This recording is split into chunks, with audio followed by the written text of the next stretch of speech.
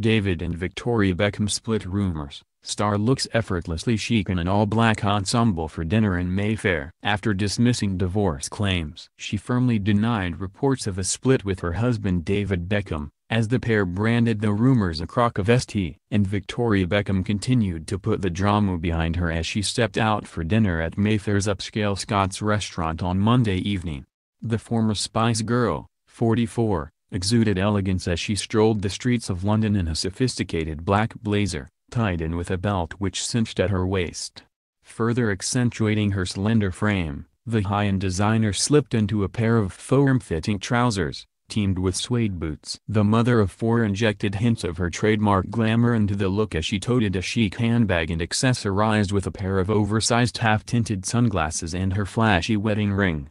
Maintaining her trendy display, the not-such-an-innocent girl hitmaker styled her dresses into loose waves and opted for light strokes of foundation with a nude lip gloss. Victoria's display comes after her husband David, 43, stepped out solo on Monday morning to attend the new Gen LFWM June 2018 breakfast during London Fashion Week Men's. The father of four turned heads at the showcase, held at the BFC designer showrooms. David embraced a casual look for his outing, donning a Union Jack embellished jumper and a pair of beige.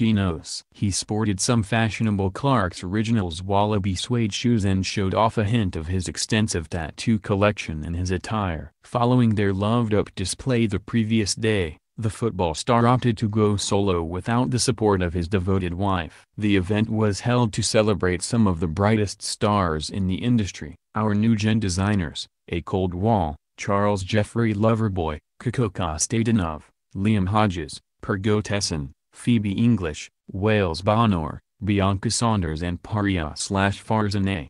David was recently appointed the new ambassadorial president of the British Fashion Council. The role is designed to raise the profile of emerging British fashion talent on the global stage and help the BFC engage young talent from all backgrounds, into the fashion industry. The previous day, Singer-turned-designer Victoria flooded her Instagram page with snaps from the Kent and Curwen Men's London Fashion Week show, which had also been attended by David. The couple had arrived at the London event separately and sat apart, before Victoria was spotted reaching over the table to give David's hand a squeeze. David made a low-key entrance at the event after returning from a trip to the States amid the flurry of divorce rumors, before Victoria was pictured making her arrival a short time later. The couple, who have been married 19 years, later took their seats inside the show, but with Vogue editor Edward Enninful sat between them. They did put on a united front however, with David pictured smiling at his wife as she leaned over their mutual friend to touch his hand. Victoria was dressed in a flowing white midi dress for the couple's first public outing together since the royal wedding on May 19, adding a pop of color with her yellow heels. After rumors of an impending split began racing around social media on Friday, Jo Milloy, a spokesman for Spice Girl turned designer Victoria, told the Daily Mail that the gossip was absolute nonsense.